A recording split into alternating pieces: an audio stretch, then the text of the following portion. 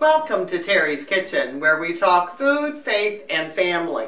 Today I am making my pickled eggs for our Easter dinner. I usually make pickled eggs about a week before our dinner um, so that they have time to, to get nice and pickled and, and have a wonderful burgundy color. So, but before I do that, I'd like to read out of the NIV Bible.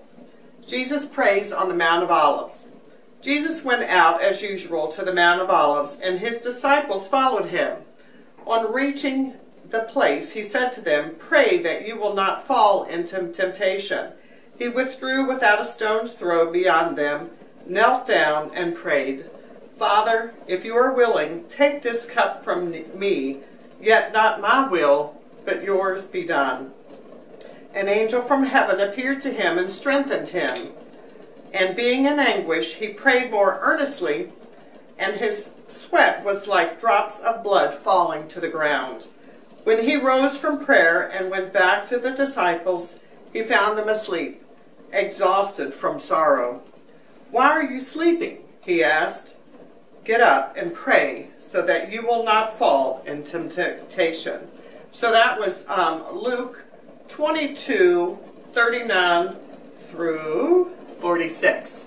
So, Heavenly Father, gracious Lord, as we prepare um, our food and the gathering to, to stop and, and realize um, that you died on the cross for us. We thank you, Lord, as we fellowship on um, Easter Sunday. We thank you, Lord, for your love upon us.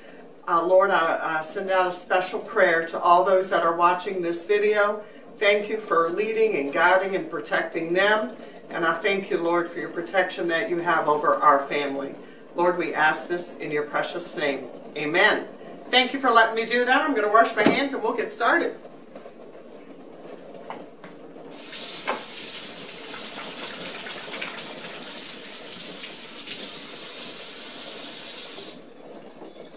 Okay, so pickled eggs, I'm going to lower my, my eggs or a bowl in here.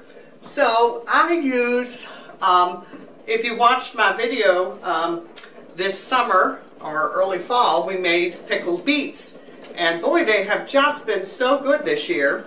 And I usually make extra for pickled beets, but I wanted to show you how I make my sauce if I'm using um, store-bought canned beets. So I thought I'm going to use my same ingredients, but kind of walk you through that, because I have done that too.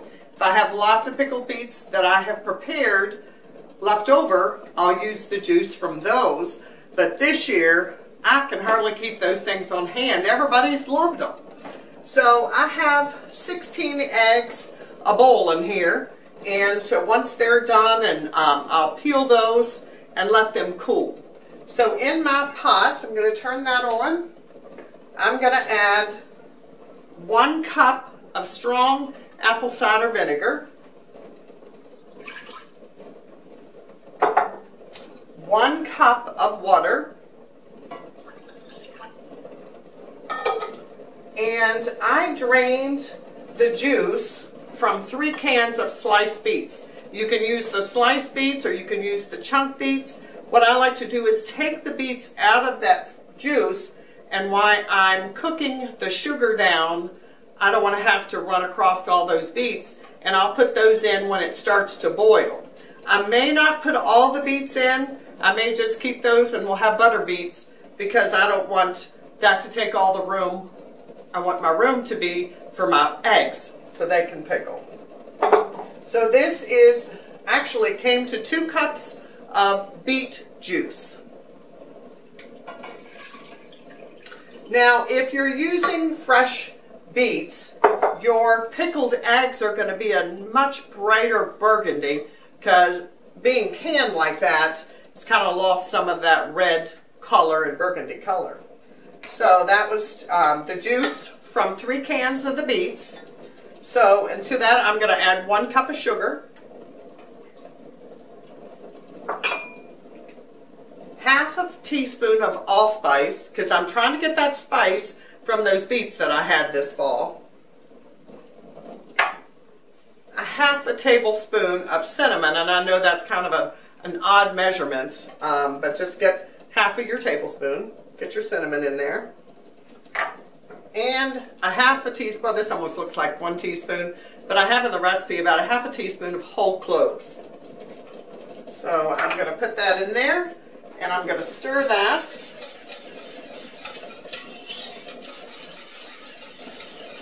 That mixed up good. And what I'm going to do, once that's mixed here, I'll add some of those beets. I want to get that sugar in there and get those spices.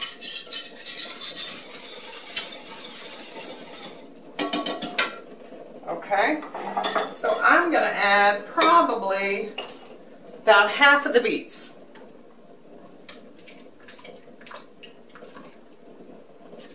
And that's going to help with that pretty color. Now, if you would like to put all the beets in, that's okay, go for it. Um, I just, you know, I don't want to chase around those beets to get to my eggs. There we go. Stir that in. And that's really all that it is to it. So what I'm going to do is I'm going to let that come to a boil and I'm going to have that boil for a strong boil for about 10 minutes. And then what I'll do is I'm going to let my this the the juice itself cool. I'm going to let going to peel my eggs, going to let them cool. And then I've got me a a nice big old glass jar that I'm going to put those in. So we'll be back shortly. Okay, our pickled beet juice boiled for the 10 minutes. I put it the juice in my glass container and I the eggs finished. I peeled those and I let those cool. So what I'm going to do is I'm just going to drop my eggs into the, uh, the juice and the aroma of the cloves, the cinnamon, and the allspice and the vinegar is good. So we've had always had pickled eggs for Easter. Uh, Sadie's got is barking at the neighborhood, uh, the dog. So if you hear Sadie barking, uh, you know it's all good. So, but we always had pickled eggs. That was part of our Easter dinner. That as long as I can remember. And um, so it is, you know, I don't know what we would do if we didn't have the pickled eggs. So I'm going to stick that in there. And you can see how the juice really kind of absorbs those eggs. So what I'm going to do, I have these little cheap little plastic things that I'm going to seal over those. And the reason being, when I put my lid on, because what you're going to need to do, because if you, I don't know if you can see here, and I'll hold it up here. The tops of the eggs are still white and showing. So every day I will get in the refrigerator and I will shake those up just to get them turned um, around so that all of them get evenly um, dyed with the pickle juice.